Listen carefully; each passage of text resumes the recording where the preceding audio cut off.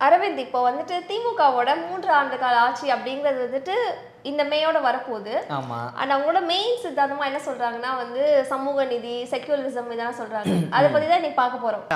Boys நல்ல action block மாட்டிருது full enjoyment தான். வாங்கடா. ஃபர்ஸ்ட் வந்து சமூக நீதியை அவங்க எப்படி கடைப்பிடிச்சிருக்காங்க அப்படிங்கறத பத்தி பார்க்கலாம். நீங்க அது வந்து எப்படி அவங்க ஃபாலோ பண்ணிருக்காங்கன்னு நினைக்கிறீங்களா? இல்ல எப்படி? சமூக நீதி தானே திமுக ஒரு கொள்கையாவே இருக்கு. அப்புறம் ஃபாலோ பண்ணிருக்காங்கன்னு என்ன கேக்குறீங்க? சமூக நீதி இல்லைன்னா திமுக இல்ல திமுக இல்லைன்னா சமூக நீதி இல்ல. சமூக நீதி எக்கச்சக்கமா இருக்கேங்க திமுகல. ஐயோ சாமி. வேற. ஏய் கூட்டு போங்கடா. கோவத்துல போட்டுற போறேன் ஸோ அமைச்சர் பொன்முடி அவர்கள் வந்துட்டு நீங்களாம் எஸ்சி தானாமா அப்படின்னு கேட்டது வந்துட்டு ஒரு சமூக நீதியா நீங்க பாக்குறீங்க? ம், ஏன் சமூக நீதியில் அதுவும் லைட்டாக வரும். சாதி மதங்கள் இல்லையடி பாப்பான்னு நாங்கள் பாரதியார் பாட்டை மட்டும் தான் சொல்லுவோம். எங்கள் அமைச்சர்களுக்குலாம் அது கிடையாது. அதனால நீங்கள் எசி தானே? இன்னும் வேறு என்னென்ன குறைவாக இருக்கோ எல்லாத்தையும் கூட சொல்லுவோம் அதெல்லாம் நீங்கள் ஏன் கொண்டு வரீங்க சமூக நீதியில்? இந்த பிழைப்பு பிழைக்கிறதுக்கு என் கூட சேர்ந்து பிச்சை எடுக்கலாம்? சும்மா போங்கம்மா. ஏதாச்சும் நம்ம வந்து சமூக நீதியில் என்ன குத்தம் பண்ணுச்சு திமுக என்ன பண்ணுச்சு அமைச்சர் என்ன பண்ணாங்க இதே சொல்லக்கூடாதுல்ல காலங்காலத்துக்கு இருந்து. இல்ல அமைச்சர் பொன்முடின்னு சொல்றோம். அவர் இன்னும் அமைச்சரா தான் இருக்காரா? ஆமாம் அப்போ அமைச்சர் இல்லையா அவர்? இல்ல இடையில நிறைய பிரச்சனை எல்லாம் வந்துச்சு. அதெல்லாம் எங்கள் சமூக நீதி வென்று எடுத்துருச்சு அதெல்லாம் அதை. சுப்ரீம் கோர்ட்ல அப்பீல் பண்ணாங்க அதெல்லாம் சமூக நீதி வச்சு வென்று எடுத்து திருப்பி அமைச்சராக வந்துட்டான். வந்து அடுத்தும் புதுசாக ஒன்று சொன்னமே கவனிக்கலையா நீங்கள் இல்ல அவர் வந்துட்டு எனக்கு வந்து உடம்பு சரியில்லை நான் வயசானவர் அதெல்லாம் சொல்லிட்டு இருந்தாரு. ஆனா எங்கேயோ போய் டான்ஸ்ல ஆடிட்டு இருந்தாரு.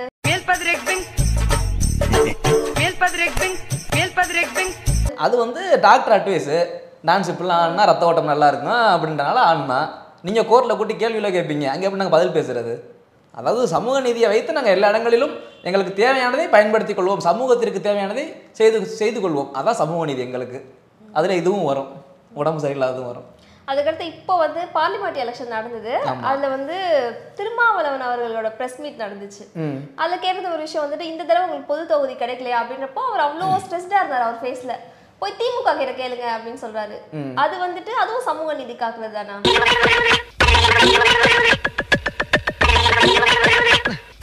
ஆமாம் சமூக நீதி. அதுவும் சமூக நீதியில் வரும்ல. அவங்களுக்கு தேவையான ஒரு தொகுதியை கொடுத்துட்டோம்ல. பொது தொகுதியை நாங்கள் கொடுத்துட்டா அப்புறம் எப்படி சமூக நீதி நாங்கள் பேச முடியும்? புரிஞ்சுதா புரியலையா? பொது தொகுதியை கொடுத்துட்டா சமூக நீதியை பேச பேச முடியாது முடியாதுல்ல?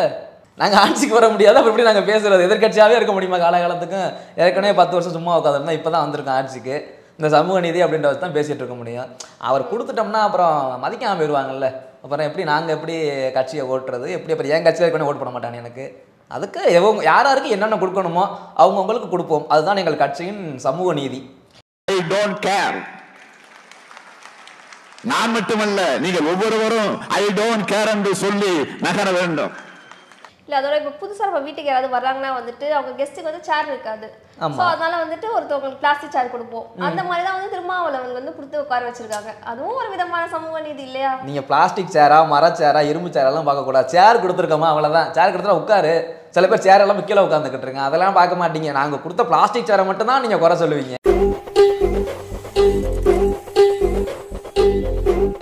உட்கார வச்சிக்க. திமுக வந்து அதையும் பண்ணாங்க. மேடையில சில பேரை உட்கார வைக்காம கீழே உட்கார வச்சிருக்காங்க. ஏங்க எல்லாத்தையும் மேடையில் உட்கார வச்சா மேடை இடிச்சு கீழே விழுந்துடாதா? திராவிட கட்டமைப்பு அப்படி இருக்கு. நீங்கள் வரல எல்லாத்தையும் உட்கார வச்சு உடைக்க சொல்லுவீங்க போலயே. அப்படிலாம் யாரையும் உட்கார வைக்க முடியாது. எங்களுக்கு தேவை நாங்கள் உட்காருவோம். நீங்க நீங்க- மட்டும்தான் உட்காரணும். ஆமாம் உட்காருவோம். இது என்ன தப்பு? நான் எனக்கு தேவையானதை நான் பண்ண முடியும். உங்களுக்கு தேவையானதை பண்ணி கொடுத்துட்டு இருக்க முடியுமா? அதுக்காக ஆட்சி அமைச்சு உட்காந்துக்கிட்டு இருக்கோம் வந்து நாங்கள் கரெக்டாக கேள்வி கேளுங்க. சும்மா பொத்தா முத்தெல்லாம் கேட்கக்கூடாது. சமூக நீதி. சமூக நீதி என்றால் திமுக திமுக என்றால் சமூக நீதி. இத ஆட்டோ பின்னாடியே எழுதி வைக்கலாமே. சரி சமூக நீதி தான் என்ன ஃபர்ஸ்ட் சமூக நீதினா சமூகத்தில் நீதியை கொடுக்கறது சமூக நீதி. ஐயோ ரொம்ப குழப்பறானே. தம்பி கொஞ்சம் புரியுற மாதிரி சொல்லுங்களேன். சமூக நீதினா சமூகத்தில் நீதியை கொடுக்கறது சமூக நீதி.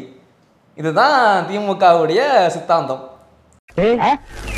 எப்படா உனக்கு இந்த அறிவெல்லாம் வந்தது? அதாவது நாங்கள் எப்படின்னா அந்த நீதியை வந்து நிதி அப்படின்றத கொடுத்து அதை லைட்டாக சுழிச்சு விட்டோம்னா நீதியாக மாறிடும். நிதியை கொடுத்து நீதியை வாங்குவோம். அதுதான் சமூக நீதி. இல்ல சமூக நீதி அப்படின்றது எல்லாத்துக்குமான ஆஹ், எல்லாரையும் ரெப்ரசென்ட் பண்ணணும். அதுதான் வந்து சமூக நீதி இல்லையா? ஆமாம் சோ திமுக எல்லாருக்கும் எல்லாம் கிடைக்கணுமா சமூக நீதி? வேற சமூக நீதியில் என்னென்ன இருக்கு சொல்லுங்க பார்ப்போம் கேட்போம் வேற எப்படி சமூக நீதியை கடைபிடிச்சாங்கன்னா வந்துட்டு.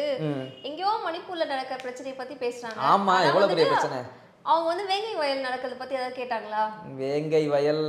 அடடா வர்றேன் பூரா மொத்தமா என்னையவே குறி வச்சு வந்தா என்னடா பண்றது? வேங்க வயல் என்னங்க? வேங்க வயல்ல அந்த மலம் கலந்தது தானே தனி தொட்டியில்? ஏங்க இதுக்கெல்லாம் வந்து நீங்க திமுக ஆட்சியையும் முதலமைச்சரையும் குறை சொல்லக்கூடாது இல்ல அவர் என்ன பண்ண முடியும்? அவரு ஆர்டர் போடலாம் போலீஸை சொல்லலாம் போய் பாருங்க என்னன்ட்டு. அதுக்கு அவரு இடையில வந்து மழை யாரும் கலக்காம பாத்துக்க முடியுமா? தனி தொட்டியை கூட இருந்து பாத்துக்கிட்டு இருக்க முடியுமா? அவர் உட்காந்து அப்படி பார்த்துருக்கணும்னு அவசியம் இல்ல. ஆனா சட்டத்துறையே வந்துட்டு முதலமைச்சர் தானே கையில வச்சிருக்காரு. சட்டத்துறையை வச்சிருக்காரு வச்சிருந்தாலும் எல்லாத்தையும் அதே போஸ்ட் பண்ணக்கூடாது இல்லை அவர் ஒரு இப்போ கொடைக்கானல் டூருக்கு போனார் ரெஸ்ட் எடுக்கிறதுக்கு எல்லாம் கழுவி கழுவி ஊத்துனீங்க. என்ன செஞ்சுட்டாரு? ரெஸ்ட் எடுக்கன்ட்டு இவ்வளோ ப்ரெஷர் இருந்தால் ரெஸ்ட் எடுக்க போக மாட்டார். அது மாதிரி தான் இதெல்லாம் தூக்கி தூக்கி அவர்கிட்டே கூடக்கூடாது இது நம்ம மனிதர்கள் செய்கிற தவறு. ஜாதி மதம் இல்லாமல் வாழணுன்றது புரிய மாட்டேது அவனுக்கு. இவன் போய் கலந்து விடுறதுக்கு அவர் என்ன பண்ணுவார் பாவம். அதோட முதலமைச்சர் வந்து அவர் கையில வச்சிருக்க துறையிலே ஏன் வந்துட்டு நிறைய தப்பு பண்றாரு? அவர் வச்சிருக்க மாற்றுத்திறனாளிகள் துறை அப்படின்றது அவர் கையில தான் இருக்கு. ஆனா வந்து அவங்கள அரெஸ்ட் பண்ணி கிளாம்பாக்கம் பஸ் ஸ்டாண்ட்ல போய் வைக்கிறது. கிளாம்பாக்கத்தில் பசியை தோட்டத்துக்காக கொண்டு விட்டான். இதெல்லாம் தவறா? நாங்க ரொம்ப கேவலமான ஆளு. கேவலமான ஆளுனா? எந்த லெவலுக்கு இறங்கி அடிமட்ட வரைக்கும் போய் அலசுவோம். அவங்க அவங்களுக்கு அவங்களுக்கு தேவையான உரிமை கேட்டாங்க உரிமையை தாங்க? அந்த உரிமையை கேட்டு போராடினாங்க. இப்படி நடு ரோட்டில் இருக்காங்களே கண்ணு தெரியாது. நிறைய மாற்றத்தினால இருக்காங்க. அவங்களை கொண்டு போய் பஸ் ஏற்றி விடுவோம்ன்றதுக்காக கூட்டி கொண்டு விட்டாங்க. அதை நீங்கள் பெரிய சர்ச்சையாக பேசுறீங்களே. அதெல்லாம் தவறு. அப்படிலாம் பேசக்கூடாது. இதெல்லாம் சமூக நீதியில் வரும். ஆனா அது எப்படி வந்துட்டு திமுக பொறுத்த வரைக்கும் அதோட அமைச்சர்கள் தான் வந்துட்டு சமூக நீதியை நிலைநாட்டுறதுல வந்து பெரிய பங்கு வகிக்கிறாங்க. அதில் இப்ப கூட வந்துட்டு கே நேரு என்ன சொன்னாங்க பாத்தீங்களா? என்ன சொன்னாரு? அதாவது திருச்சியில வந்துட்டு அவர் என்ன சொன்ன அவர் என்ன சொன்னாலும் நல்லதுக்கு தான் சொல்லியிருப்பார் சொல்லுங்க. இல்ல அவர் என்ன சொன்னாரு அப்படின்னு தெரியுமா உங்களுக்கு?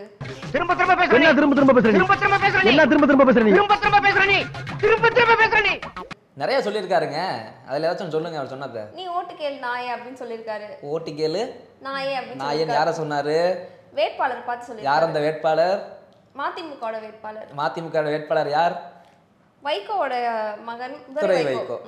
துறை வைகோ கரெக்ட் அதாவது கூட்டணி கட்சி. என்ன சொன்னாரு? நாம் யாருக்கு என்ன தீங்கு செய்தோம்? நமக்கு மட்டும் ஏன் இப்படி எல்லாம் நடக்கிறது? ஓட்டு கேளு நாயே அப்படின்னு நாயேன்னு சொல்லிட்டாரு. நாய். நாய்க்கு என்ன முட்டு கொடுக்குற நாய்னா என்னது? நாய் ஒரு நன்றி உள்ள ஜீவன் இல்லையா? மாடை எப்படி சொல்ற? நீ ஒரு கோமாத மாதிரி அப்படி சொல் அது மாதிரி எக்ஸாம்பிள் சொல்ற மாதிரி நன்றி உள்ளதா இருடா நாயே ஓட்டி கேளு நாயே அப்படின்னு சொல்லிட்டாரு. ஒரு அது ஒரு உயிர் தானே கம்பேரிசன் பண்றது தப்பா?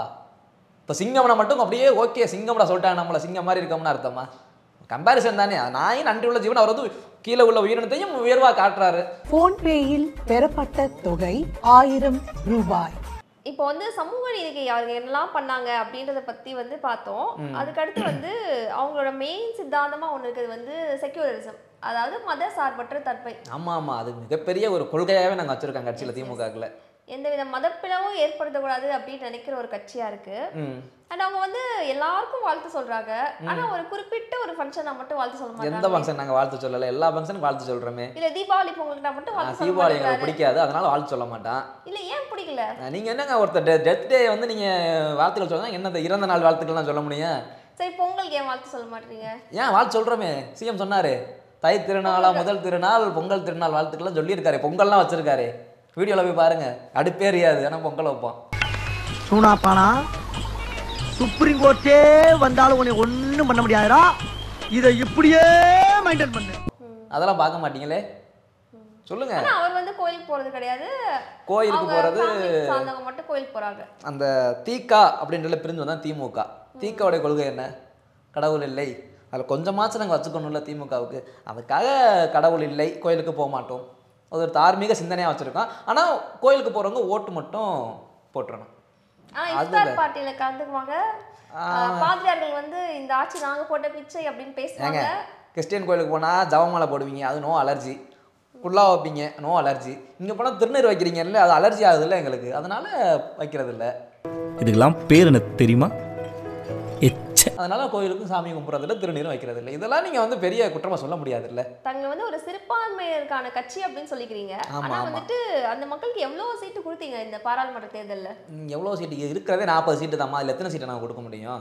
இல்லை ஏங்க இருக்கிறது நாற்பது சீட்டு அதில் இருபத்தொன்று தான் நாங்களே நிற்கிறோம் காங்கிரஸுக்கு பத்து கொடுக்கணும் விசிகாவுக்கு ரெண்டு கொடுக்கணும் சிபிஐக்கு ரெண்டு கொடுக்கணும் அதில் இன்னும் சிபிஎம் அதுக்கு ரெண்டு கொடுக்கணும். பத்தாவதுக்கு துறை வைகோ வேற இதில் ஒன்று பத்தாவது கமல் வேற நோண்டிகிட்டே இருந்தார். அவருக்கு ஏதோ கொடுத்து ஆஃப் பண்ணியிருக்கோம் மாநில காங்கிரஸ்க்கு மட்டும் இது உன் பிள்ளைகளுக்கு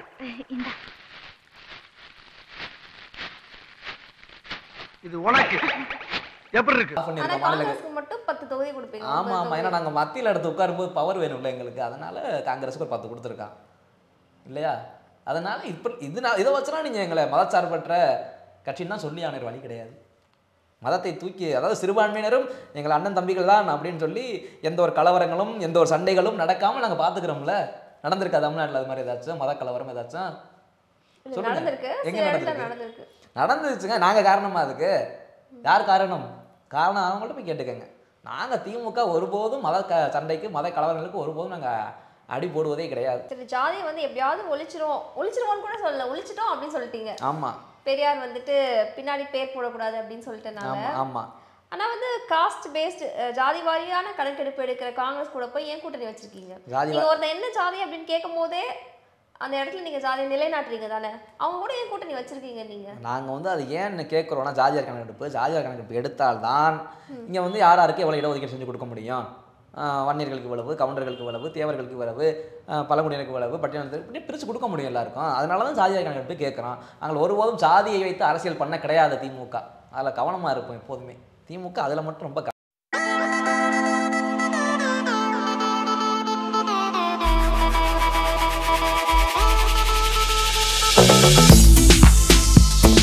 ஜாதிகள் இல்லையடி பாப்பா. இது பாரதியாருடைய கொள்கை கிடையாது. திமுகவுடைய சித்தாந்தம் சி- திமுகவுடைய கொள்கை.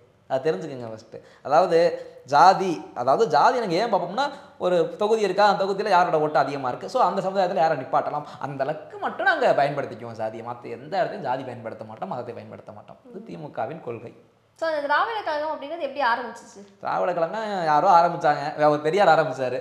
அதை அப்படியே நாங்கள் கொஞ்சம் அவர் இந்த ஒரு- மேரேஜ் விஷயமா கொஞ்சம் எங்களுக்கு அவர் கொஞ்சம் வாக்கா தகராறு. அதனால வந்து திக வந்து திமுக பிரிச்சுட்டு வந்து ஏதோ அண்ணா வச்சு ரன் பண்ணிக்கிட்டு இருக்கோம் ஸோ வந்து பிரிட்டிஷ் காலத்துல வந்து பிராமணர்களுக்கு மட்டும் அரசு வேலைகள்ல இவ்வளோ பங்கீடு கிடைக்குது. அதனால எங்களுக்கும் கிடைக்கும் அப்படின்னு சொல்லிட்டு ஒரு மேல் சாதி சோ கால்டு அப்பர் காஸ்டா சேர்த்து ஆரம்பிச்ச கட்சி வந்து திராவிட கழகம் கிடையாது. அப்படிதானே? அப்படி எந்த வரலாறும் சொல்ல கிடையாது. அப்படியே வரலாறு எதுவும் இருக்கான்னு அப்படி இருக்குது? அப்படி தான் ஆரம்பிச்சிருக்காங்களா பெரியார் வந்து பிராமணர்களுக்கு சப்போர்ட்டா இல்லை எகென்ஸ்டா எனக்கு அதுவே தெரியலையே. நாங்கள் வந்து திமுக தானே? தீகா கிடையாது இல்லை இதை நீங்கள் தீகா கேரக்டர் கேட்கணும். நாங்கள் திமுக. அதிலிருந்து பிரிந்து வந்து ஒரு கிளை. கலைஞர் என்ன செய்தார்? ஸ்டாலின் அவர்கள் என்ன செய்தார்? அண்ணா அவர்கள் என்ன செய்தார்னு கேளுங்க சொல்கிறேன் ஆனா பெரியார் வந்து திராவிட மாடல் அதில் கொஞ்சம் ஆள். ஓட்டு இருக்குமா? அந்த ஓட்டு எப்படி நாங்கள் விடுறது? அந்த ஓட்டுக்காக அதை திடுறான் படத்தில் வச்சுட்டு திடுறான் நாங்கள் அதாவது பெரியாருடைய என்ன வியாபாரம் ஆகுமோ அதை மட்டும் எடுத்துக்குவோம் அவர்கிட்ட இருந்து. என்ன ஆகாதோ அதெல்லாம் தூக்கி போட்டுருவோம். டேய் என்னடா மூஞ்சி இது? இதெல்லாம் வியாபாரம் ஆகாது. இப்போ திராவிட மாடல் அப்படின்னு வந்து முதலமைச்சர் சொல்றாரு இல்லைங்களா? ஆமாம் ஆமாம் திராவிட மாடல். ம், திராவிட மாடல் தான் சொல்றேன். ஆமாம் அது அப்படின்னா என்ன ஆக்சுவலா திராவிட மாடல்னா அதாவது முன்னாடி ஒரு மாதிரி இருந்திருக்குல்ல ஃபஸ்ட்டு வேஷ்டி சட்டை போட்டோம் அடுத்து ஃபேன் செட் மாறிட்டோம். இப்போ அடுத்தடுத்து போயிட்டு இருக்கோம் அது மாதிரி முன்னாடி இருந்த திமுக ஆட்சி அப்புறம் அதை கொஞ்சம் ட்ரெண்ட் ஆக்கணும் அப்படின்றது இப்போ கரண்டில் திமுக மாடல் திராவிட மாடல் அப்படின்னு சேர்த்துக்கிட்டோம். வார்த்தைக்காகலாம் வேற ஒன்றும் இல்லை. அதே தான் இப்போ சித்தாந்தம் ஒரே சித்தாந்தம் ஒரே கொள்கை தான் ஐயோ ஐயோ. அட தற்கூரி நாயங்களா. ஏன்டா இந்த மாதிரி அநியாயம் பண்றீங்க? ஆனால் புதுசாக பெண்ணியம்லாம் பேசுவோம். பெண்ணியத்துக்காக நிற்கிற ஒரு இதில் ஸ்ட்ராங்காக இப்போ இருக்கும். முன்னாடி எப்படி இருந்தோமோ தெரியாது. இப்போ திமுக பெண்ணியத்திற்காக நிற்கக்கூடிய ஒரு கட்சி. அதில் இந்த மாற்ற கருத்துமே கிடையாது. உங்களை மாதிரி பெண்களுக்கெல்லாம் வந்து பார்த்தீங்கன்னா என்ன தேவையோ இலவச பேருந்தாக இருக்கட்டும் ஆயிரம் ஊக்கத்தொகையாக இருக்கட்டும் எல்லாமே மன்னிக்கவும் உரிமை தொகை ஊக்கத்தொகை உரிமை தொகை ஆயிரம். இதெல்லாம் வந்து பெண்களை டார்கெட் பண்ணி நாங்கள் செஞ்சுட்டு இருக்கோம். அதான் திராவிட முன்னேற்ற கழகத்தின் ஒரு மாடல் அதனால திராவிட மாடல் மாடலை கொண்டு வந்திருக்கோம். மற்றவங்க பார்த்து தெரிஞ்சுக்கணும். பின்னாடி வர சந்ததிகள் இதை பார்த்து இலவச பேருந்து வந்து எல்லாருக்கும் அந்த இலவச பேருந்து கொடுக்குறீங்க. ஆனா உரிமை தொகை மட்டும் சில பேருக்கு அது என்ன தகுதி உள்ள அட லேடிஸ்க்கு கொடு அதாவது இந்த இலவச பேருந்து கேட்டி பார்த்தீங்களா இலவச பேருந்து லேடிஸ் கொடுத்தீங்கன்னா அவங்க உபயோகமாக போயிட்டு வருவாங்க. எங்கால கொடுத்தீங்கன்னா வச்சுக்கோங்க. இந்த ஒயின் ஷாப்ல ஏறி அந்த ஒயின் ஷாப்பு அந்த ஒயின் ஷாப்லேருந்து அந்த ஒயின் ஷாப் போகும்ல அதனால நல்லெண்ணம் கருதி பெண்களுக்காக மட்டும் இலவச பேருந்து கொடுத்துருக்கோம். இது ஒன்று பெண்களுக்கு இப்படி கொடுக்குற ஆயிரம் ரூபாயை அப்படி கலெக்ட் பண்ணிக்கிறது. அது. நாங்கள் அப்படி சொல்ல கிடையாது. நாங்கள் வந்து கொடுத்துரு நீ செலவு பண்ண. என்னது? அதுதான் நடக்குது. அது நாங்கள் அப்படி சொல்லலை. அதாவது நாங்கள் கொடுக்குறோம் நீங்கள் கொடுக்குறீங்க அவ்வளோதான் நாங்கள் நீங்கள் கொடுக்குறதுக்கு நாங்கள் பொறுப்பாக முடியாது. நாங்கள் ஆயிரம் ரூபாய் கொடுக்குறோம். அது வேற வகையில். கவர்மெண்ட்டுக்கு வருவாயா வருது. நாங்கள் அதை திரும்ப கொடுக்குறோம். கொடுக்குறோம் கொடுக்குறோம். வட்டியா? நம்ம ஒண்ணு கேட்டா நம்மள அசர வைக்கிற மாதிரி ஒரு பதில் சொல்லுவார் பாரு. ஆயிரம் ரூபாய்க்கு மேல செலவு பண்றாங்க அப்படின்னு சொல்றேன். ஓ அப்படி. ம். அது நாங்கள் பொறுப்பல்ல. எங்களது கட்சி அதற்கு பொறுப்பு கிடையாது. நீங்கள் வேணால் அப்படி வச்சுக்கோங்க. வேறு என்ன கேட்டிங்க? ஆயிரம். யாராச்சும் எந்த ஊர்லயாச்சும் கொடுத்து பார்த்துருக்கீங்களா ஆயிரம் உரிமை தொகைன்றதெல்லாம் பொன்வாதத்து இடுற முட்டை மாதிரி மாசமான ஆயிரம் அக்கௌண்ட்டில் விழுந்துரும். எங்கேயும் கடை வாங்கியதோட வட்டி காசை கூட கட்டிக்கலாம். இந்த மாதிரி திட்டங்காச்சும் பார்த்துருக்கீங்களா? ஆயிரம். அது மக்களோட வரி பணம் தானே? ஆமாம் எல்லாம் வரி பணம் தான். வரி பணத்தை கொடுக்குற மனசு வேணும் இல்லைங்க. எங்கள் ஐயா கொடுக்குறாருல ஸ்டாலின் அவர்கள். என்ன நான் சொல்லுங்க பதில் சொல்லுங்க கல்வி கடனை ரத்து பண்றோம்னு சொல்லிட்டு அதை ரத்து பண்ணல. கல்வி கடன் அது அந்த பேங்க்காரங்களை தான் கொஞ்சம் மிதிக்கணும். இந்த பேங்க்காரங்க சும்மா இல்லாமல் போன் அடிச்சு போன் அடிச்சு கல்வி கடனை கட்டு கட்டுனால தான் இந்த கேள்விலாம் நீங்கள் கேட்குறீங்க. பேங்கை முத கவனிக்கணும். ஏங்க அது படிக்கும்போது தெரிஞ்சு தானே வாங்கியிருப்பாங்க கடனை. கட்டணம்ல படி படித்து முடிச்சு வேலைக்கு போனால் பணம் வரும். அது படிச்சு முடிச்சுட்டு வாங்கிட்டாங்க. இங்க வந்துட்டு நகை கடனே தள்ளுபடி பண்ணோம் அப்படின்னு சொன்னாலும் அவர் பேச்சை நம்பி நிறைய பேர் நகை கடனை வச்சோம் அப்படி நகை கடன் வைக்கிறோம் அப்படின்னு ஓ சொல்றாங்களே எங்கள் வாக்குறுதி நம்பி நகையை வச்சுட்டீங்களா? வச்சுட்டாங்க. ஜெயிக்கிறதுக்கு நாலஞ்சு திட்டத்தை சொல்லத்தான் செய்வோம். அதெல்லாம் நம்பிடுவீங்களா நீங்கள் இது இப்போ இவர் எடப்பாடி தான் ஆயிரம் சொல்லுவார். அதை நம்பிட்டு ஓட்டு போடுவீங்களா? ஏதோ எங்களால் முடிஞ்சது ஒன்று ரெண்டு செய்வோம். எல்லாத்தையும் செய்ய முடியும். எல்லாத்தையும் செஞ்சால் அப்புறம் நாங்கள் எப்படி பொழப்பு ஓட்டுறது எப்படி அரசியல் பண்ணுறது அதெல்லாம் முடியாது. ஐம்பது சதவீதத்து ஐம்பது சதவீதத்துக்கு மேல வாக்குறுதியை நிறைவேற்றிட்டதா சொல்லிக்கிறீங்க யார் சொன்னது? முதலமைச்சர் தாங்க அது சொல்லியிருக்காரு தொண்ணூறு சதவீதம் நிறைவேற்றிருக்கோம் தொண்ணூறு சதவீதம். ஆமாம் செஞ்சது இது வரைக்கும் செஞ்சதெல்லாம் தொண்ணூறு சதவீதம். என்னென்ன செய்யலையோ அது எல்லாமே பத்து செய்யணும். அடங்கிடும். அது அதில் கரெக்டாக இருக்கும். அந்த செய்யாததெல்லாம் பத்து சதவீதம். இன்னும் இரண்டு ஆண்டு காலம் ஆட்சி இருக்கிறது. செய்யாததெல்லாம் பத்து சதவீதத்துல வரும். அப்ப ஆமா. தேதி போட்டாங்களான்னு கேக்குறது. ஆமாம் எல்லாமே அதான் என்னென்ன இது நாங்கள் செய்யலையோ எல்லாமே பத்து சதவீதத்தில் வந்துடும் திராவிடரோட சாதனைகள் அப்படின்றது இது மட்டும் கிடையாது. இது வந்து சமூக நீதிலையும் சில விஷயம் மட்டும்தான். இன்னும் அவங்களோட சாதனைகள் அப்படின்றது நிறைய இருக்கு. தொடர்ந்து பேசலாம் அதான் கடலுக்கு கூட எல்லை இருக்குது ஆனால் எங்கள் திமுக செய்த நன்மைகளுக்கு எல்லைகளே கிடையாது. நீங்கள் தொடர்ந்து கேள்விகள் வந்து தொடர்ந்து நம்ம பேசுவோம்.